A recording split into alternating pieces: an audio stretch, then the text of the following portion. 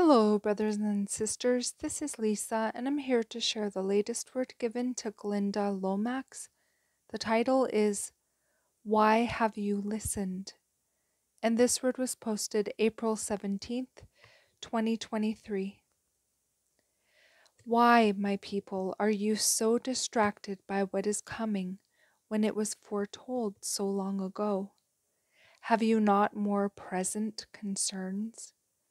Why have you listened to the enemy's whispers that I will not help you and sustain you in that time?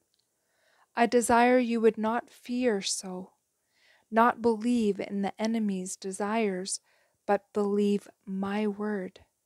Stand fast, children, for your time on earth is nearly done, and you are coming home to the rewards you have been storing up for years. And that is the end of this message. I pray you all have a beautiful day in the Lord.